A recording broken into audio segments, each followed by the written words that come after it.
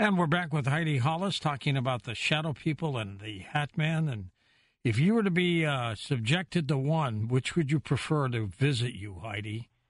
I would say zero, but uh, uh, you know, shadow people are, are more passive. But uh, if being choked and pinned down to your bed is passive, I guess that's better than being absolutely violated in every manner that Hat Man does. But you know, one thing that uh, I, I like to put out there to people too, uh, when you suddenly start seeing something like shadow beings, and I mean like it it looks like there's suddenly a bat in your house, but you're seeing just a streak, or if you're seeing uh, something that looks too dark in a corner and you just feel a, a presence, beware because that that yeah. is absolutely uh, their signature. And and also if they start out of nowhere, be aware of uh, personality changes in somebody, or you're starting to argue a lot, or somebody gets sick suddenly, or accidents start occurring. That these things aren't just attracted to those things; they cause them too. So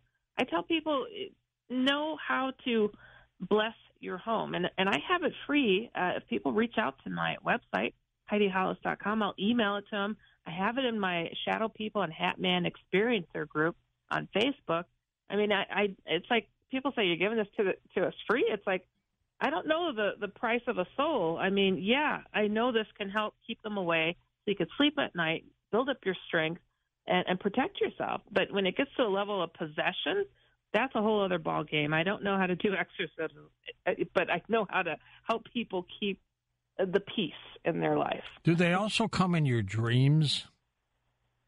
Yeah, you know, that's a, a, a that could be a first step or it could be a last step for them to come into people's dreams. Uh, people can suddenly start having nightmares and they open their eyes and it's in the room. Yeah. Um, other other times they've blessed their home and got rid of them and they start having nightmares or in between too. Um, and why they do that it's like a, a way to study you, to see what your weaknesses are, uh, how to infiltrate, uh, what button to push, how emotional you'll get if they show you an image of your, your child being harmed or something, uh, things like that. And, after blessing your home, that's like their last swings, I guess you could say, to try to uh, make a dent, like to put you into fear that, oh, you didn't get rid of us.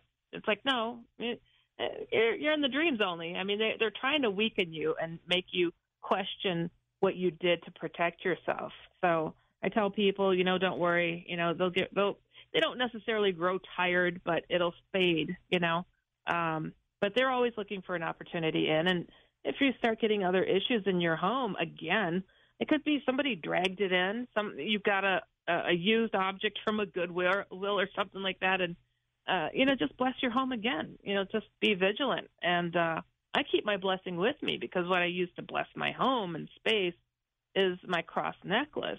And I keep it with me so when I go to work or when I go on trips, I'm not worried to that extent because it's happened where I practice as a therapist or or whatever. Uh, these things have shown up. So, uh, gone after coworkers, gone after friends, uh, family anything to try to isolate me, uh, oppress me, depress me, and then possess me, you know, but it hasn't gotten to that level, thank God. Heidi, are they soul catchers? Is that what they want? Is that their goal? Ultimately, when it comes to uh, the Hat Man, we think of the devil. What is he trying to get? He's trying to definitely gather the souls and to trap them, to keep them uh, for, for all damnation. Them. Yeah honestly, and it sounds so cliche. It sounds so silly.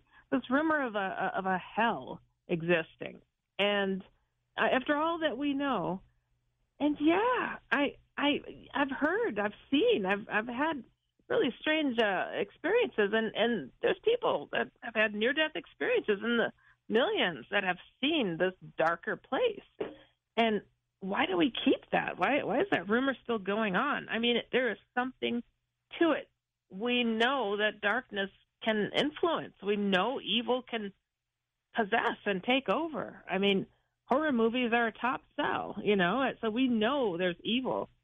And uh, rest assured, they're interested in us for some reason. But uh, I just hope people realize we're we're very powerful, or they would have taken over a long time ago, but they haven't.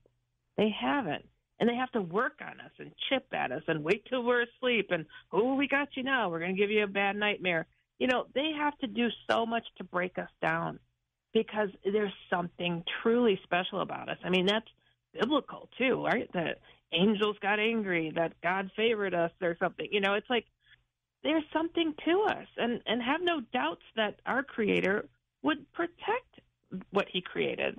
These darker, jealous, envious things, they've got to work so hard. And, and all we have to do is call on God. And I hope people really take to understanding the, the power in that because I've I've literally been face to face with something and I'm like, oh Jesus help me, you know, boom, and and it's it's gone, I, or I'm pulled out of the situation, and you know I I've uh, I've had situations that uh, have been scientifically proved, medically proved, absolutely being healed, cured, you know, and uh, that's something that I'm working on in, in my new book and describing in more detail about these things that have happened. It's like if it isn't God, who who did this? This is not a coincidence, you know. And uh, I, I just hope people put more interest in the positive. They're so enamored with evil and who, you know, you know, Hatman's got my, you know, owes me or whatever. These silly memes on it, and uh, people have died now. Children have died for these odd challenges they put on social media for Hatman, and and they reference me and my work like because I named it. I put the whole phenomena out there, shadow people and Hatman, and and, and it's like tainting all of the work to say go to God. There's a, there's a devil walking around. You know, this is a modern day version of what people understand to be the devil, and they're making jokes of it. And I mean that that's a saying, isn't it, George? That uh, the greatest trick that that uh, the the devil ever did was to convince people he's not real. That's like, right. And it's working. Great line by Al Pacino. Yeah, there you go. All right, let's go to the phones. John in Wisconsin to get us started. Go ahead, John. Hello, George. Hello, Heidi. Hi, John. I have a hi. I have a brief comment and a question for Heidi, please. I've always considered mm-hmm. myself a common sense guy. And there's way too many people that have similar stories of Hatman and Shadow People for it to be made up folklore. Also, with the exception of shows like Coast to Coast AM and Beyond Belief, there's not much resources for the average person to learn more about it. And I guess my question to Heidi would be if we did talk more about this openly, I believe there'd be a lot more support and less anxiety. And Heidi, do you think the government, religious leaders, business leaders, people that make decisions suppress all this information from us because they are not comfortable talking about it or they themselves fear the reality of this? And, and again, it's, it's ironic, Heidi, because when you talk things through and work things through, irrespective of the subject, it brings healing and peace because you can talk openly about it. And Heidi, I want to thank you for two quick things and I'll let you go. I want to thank you for everything you shared. And I want to equally thank you for mentioning God and faith and your cross because that's how we rebuke the devil and get him out of our home, out of our rooms, out of our workplace. Thank you for sharing that, Heidi. And George, thank you for taking my call. Sure thing. Wow, thank you, John. That's beautiful. My home state, and I'm sitting in Wisconsin right now, right where I discovered Shadow People and Hatman. Believe it or not, um, a lot of people don't realize that. It's like, yeah, but um, wow, I, I got goosebumps, John. Thanks, thanks for uh, the kind words and, and support. Very nice. you know, the government is very much uh, aware uh, of this, uh, and so are the the religious institutions. How do I know? Because they've contacted me. Um, I, I've heard more conversation in regards to uh, uh, these topics, and uh, I forget the guy that was talking about it. That's uh, situated in the government. Called them tricksters. It's like really, yeah, you know it. I know where you're going with this. Uh, they are very much aware, and you're right. It, we should have more open conversation about this. Uh, the podcast that I've done for Coast to Coast uh, uh, AM is called Dark Becomes Light, where I'm taking people's uh, stories and talking about this, and you can find it on Coast to Coast here. And uh, you know, I've, I've been talking about it for ever uh, for as long as George has been doing Coast to Coast practically. So it's uh, you know, trying to put it out there, trying to put the right word out there, and uh, instead of people grabbing, trying to make a dollar off from uh, people's souls, the the this this conflict. And I'm like, do you do you not understand what you're you're toying with here? I mean, and and as they do, I've had um, somebody I worked with to try to put the story into film. Do you know that everybody on set got attacked? Everybody. Really? And, yes, in front of and behind, to the point that we dropped it all. I mean, we dropped it. People got sick. They got cancers. Uh, things were were breaking. Uh, the the actress got uh, this thing came out of the wall and grabbed her. I mean, horrible, just horrible stuff. So it, it, people think this is something to just uh, take lightly. It is not. It is not, and uh, it, it breaks my heart because it, it, it's not something to sit there and hope that uh, you know, gosh, I could really do something with this and create a a, a name for myself. It's like I, I reluctantly took a step forward, but it's also something I remembered agreeing to do in this lifetime. And um, you know, as much as my dad encouraged me to use a pen name, because and I told him, Dad, you didn't have any sons, and Heidi Hollis sounds really good, so I'm going to abuse that last name to its fullest and use myself as an example. You know, have at it. I I'm being as honest and open as I can, and you know, and then then on top of it all, to to be having to come forward after talking about the the whole alien uh, conversation and say, well, now I saw Jesus. Well, I I have to be honest, George. I had to be honest. I'm like, I can't, I can't just sit there and and pretend I don't have the things that have, have that have happened my way. And soon, I hope to uh, come back to to chat a bit more about what I've discovered in all of this because it's gotten gotten to be really complicated but interesting, and I, I think it'll help a lot of people move past like, is this real or not? Um, because man, it, God has a lot of uh, a lot of miracles to share yet. So I'm excited about it. Next up, west of the Rockies, Scott's with us in Costa Mesa, California. Welcome. Hi, Scotty. Go ahead. Hi, Heidi. Hi, George. You know, I, have got a story and then also just sort of some comments about sort of uh, the movie Ghost when the bad people get taken to wherever they were going by the shadow right. people. Yeah, and they turn into mm-hmm. those globby things. Just like them, right? Yeah.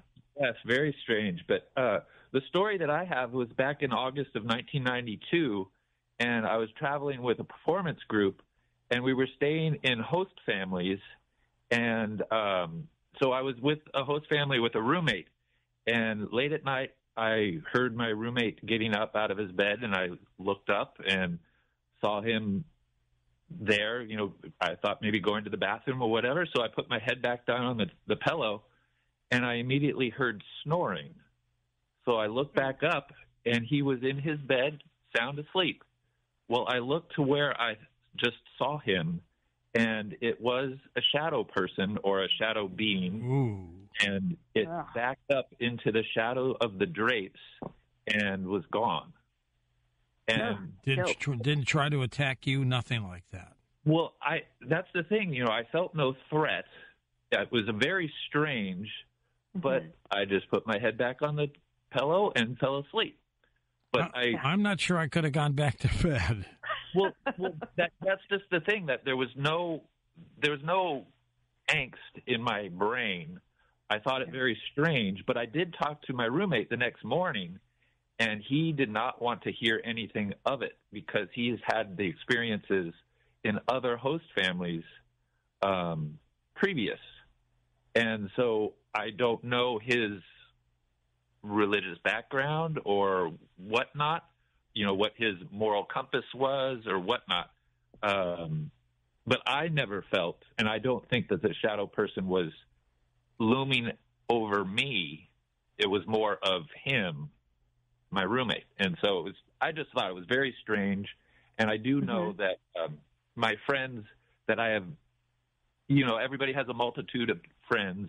My friends that are very high anxiety, they can't handle those kind of stories. no. my friends no. that are very open minded, I can discuss anything with them. And I do think mm-hmm. that it's all all in who you can talk to. And that's why I appreciate, you know, coast to coast is because weird things do happen to, well, I'm going to call myself a normal person, but weird things do happen to people. yeah, yeah, absolutely, and and that's it. We got to get get it into a, a normal uh, level. I, I know how to clear a room when I want to. I know how to freak people people out, but I want I want to talk about this on the level. I want to try to keep it friendly, so people might say, "Oh, she giggles too much," or "She sounds too friendly about this," and it's like it, I'm being who I am about any other topic I, I discuss because I want to have people ask questions and feel comfortable versus it, having them clear the room. So um, it, I think it's it's healthy. And uh, you know what you're talking about this doppelganger of your your your friend um, walking around. I had it happen as well, and and it seems that uh, it, these things can shapeshift to make themselves appear. So do aliens, by the way, uh, to appear as something else or someone else, and it it it pulls your attention away. It, it puts your guard down. Even you know, it's like oh, it's just them. And then it's like, hold on, you know, it's like, why is it stealing their essence and their shape? It's not to be good, not positive. Doesn't make you feel good inside, you know. I, and you know, I, I get it, uh, not feeling fear uh, because it's something familiar, so it does let your guard down. So, um, you know, what what is the purpose of this? I think there's a whole lot of uh, things that we could throw in there as to why that is. So, um, yeah, but I appreciate you sharing the story. It's interesting. Let's get a quick call out of John Truck Driving in Ohio. Mm-hmm. John, go ahead. Hi, Heidi. Hi, George. I, uh, hey. man, Heidi, I always look forward to for you being on here and also on the website. Um, I've had a few things as a child with Hatman. He's never really, I mean, he appears, but he doesn't do anything. And I had a dream years later. I was going through some problems, you know, stress, like you say and I think that's when they try to get to the weakness.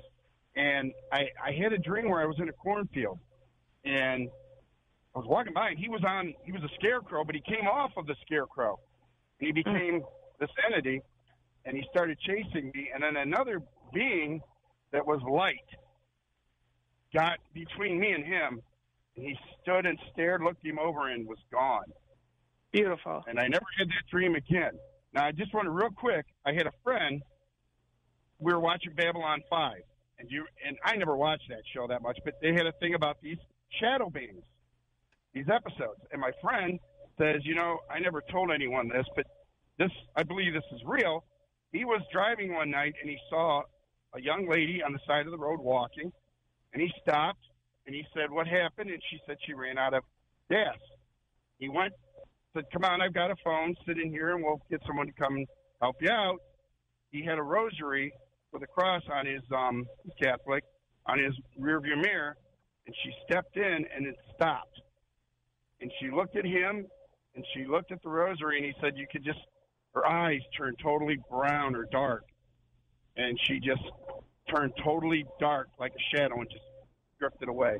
Geez, that's a great story too. We'll get more of your reaction, Heidi, when we come back on Coast to Coast AM.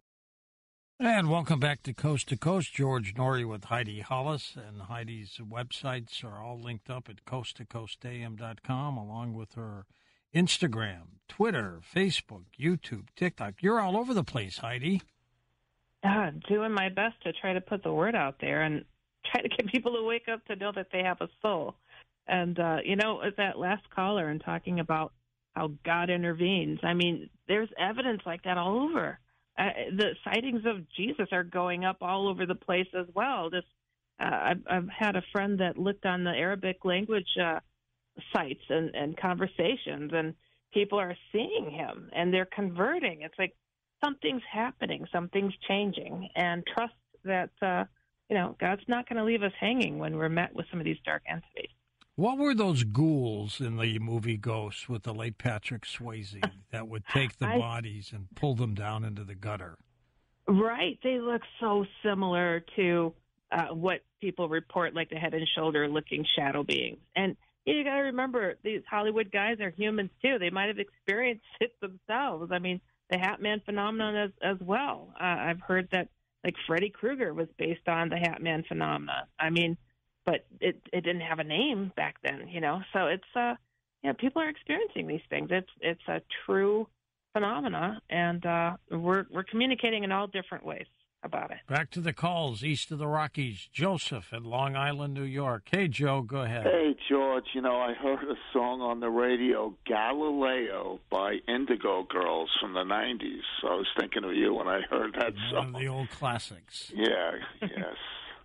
So, Heidi, I have two longer questions, not too long, but uh, first, uh, you were talking about uh, weaknesses and uh, how they could be exploited by the Hat Man. And I was thinking, first of all, these two slippery slopes. One would be uh, uh, the idea of people uh, rules, make up rules, but sometimes they're pretty absurd. All right, they'll say, okay, I'm tr- if I drink three beers, I'm not drinking. If I steal only five thousand in an office situation where you can get away with it, I'm not stealing. It's got to be over twenty five thousand. So they make up rules like that, or they do set a boundary, but the boundary may not work. Okay, uh, you know, I'm worried that horror movies will trigger something, so I'll only watch two a month, and they won't be that bad. But what what if those two horror movies do trigger something? So that's my first question. My second question is about dreams. You were saying that there's some volition or voluntary behavior if you're dreaming where you could almost make a deal with the devil in the dream, which I found interesting. But I also want to ask you about the appearance of strangers in a dream. And it may, that stranger, even if he or she talks to you, may not have much to do with you or may indeed have something to do with you, just like in real life. Someone could ask you for directions and maybe they think you're friendly, or someone could approach, say, somebody and say, "Oh, uh, you know, you look like you'd be a good actor, or a model, or you know, whatever," and it's more personalized. So, how do you distinguish in a dream what the stranger means? Yeah, you know, really good questions, and uh, gosh, I, I hope I can can answer them uh, sufficiently for you. When it comes to um, some of these things that you, you see in, in the movies and, and whatnot, and they start like conjuring something, speaking a language I don't know, uh, it, it, can it influence the room that I'm in? I don't know, so I mute it. I absolutely mute it. I don't know what they're saying. I don't.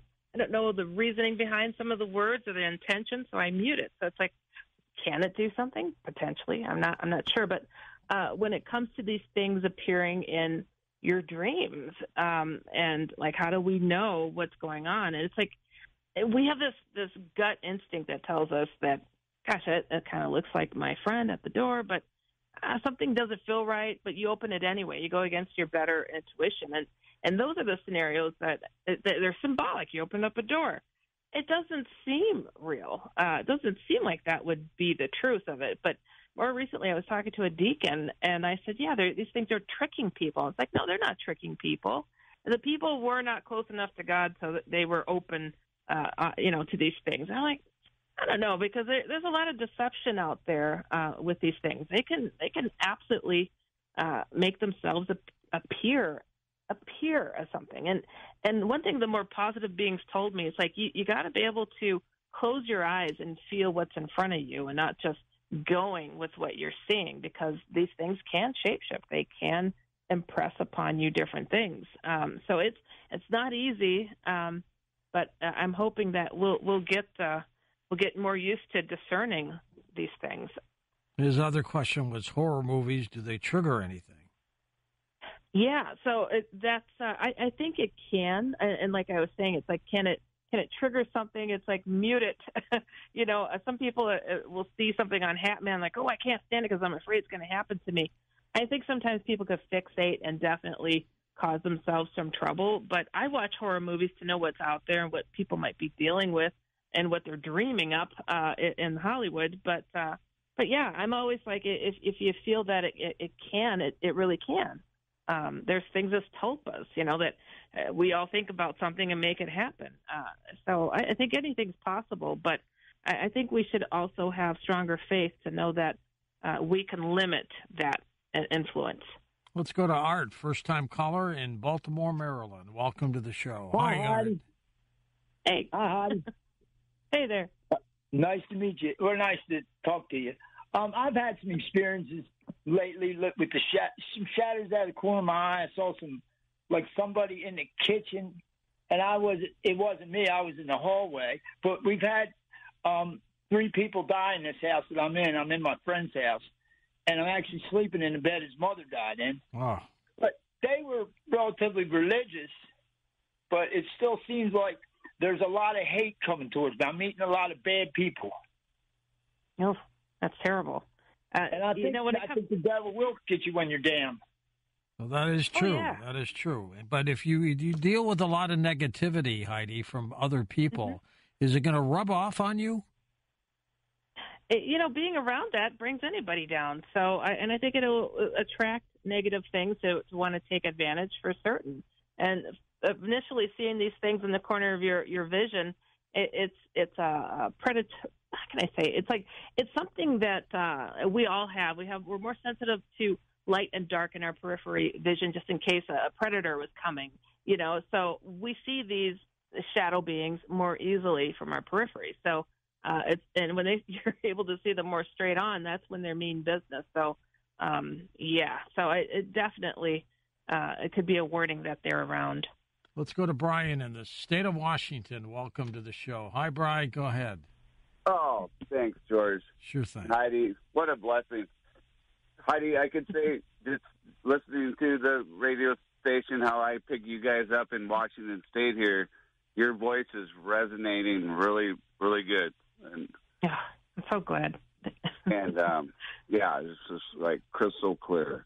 So uh, my question was is what do you think because I've had my experience but I I just want to hear your uh, opinion on it of the Men in Black because I had one experience, but we don't have enough time to talk about it to where I believe that these guys are real. But I just wanted to hear your aspect on them. I'll tell you what the beings, uh, alien beings, told myself and my college roommate that um, that's a form that shadow uh, influence it takes uh, when they want to be very physical. Uh, they influence these um, beings that that look like that. Um, but of course, there's the the human versions of them too. But there's there's a force of them that are apparently not uh, human at all, and they are under the influence of these shadows uh, from this universal uh, issue that's going on. Uh, that's what they told me. Um, but yeah, definitely not not a positive thing. Um, so they're not on our side. Whose side are they on, Heidi? well, the shadow beings. Uh, that's what the, the the more positive alien beings told myself and college roommate that they were uh, definitely under the influence of. They were possessing this form, Men in Black form, uh, when they wanted to be physical, absolutely physical. Let's go to Unaday in Yonkers, New York. Unaday, hello there. Oh, thank you so much, George, for taking my call. Sure. Heidi, it's a great honor to speak with you. You're a very deep, gifted person. I, I went to your site while I was waiting. I happen to be sighted Thank on you. both sides of the family. My mother was Thuringian, which is southeastern German, and my father was Scots Irish, and they both had the sight on each side of the family. If you Wow. take a mother and a father, the child is even stronger. So, that being qualified, Heidi, there are two shadow beings in my house, and they're not entities like a human. They were not discarnates, meaning a soul that has progressed, but mm-hmm. they've always been in nature, and they're about seven feet tall and anamorphic, meaning there's no mass. And then sometimes they merge, but they're not malignant and they go into a 1700s antique mirror, which is like an interdimensional vortex. I'm sure you've had Mhm. experience with that. Yeah. But also, Heidi, there's a 10 year old girl from the Victorian era, and she sometimes appears, and when I see a ghost, they look like a real person. They, it's not like Hollywood where you can see through them.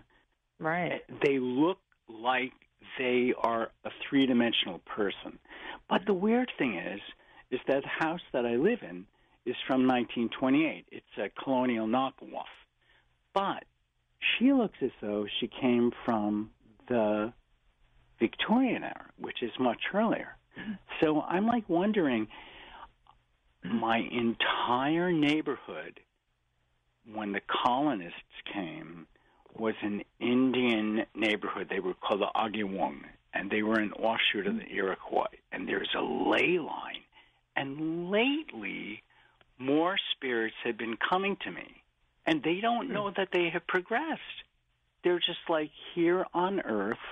They haven't transited. They're here, hmm. and they come to me, and they're like, "That's the guy," and I'm like, "What can I do to like stop them coming through?" Because this is Wow. like, you know, it doesn't bother it doesn't bother me Mhm. because I'm a tarot reader and and I do readings for people, and people are like, "Oh my God, Anna, Yeah. you're great."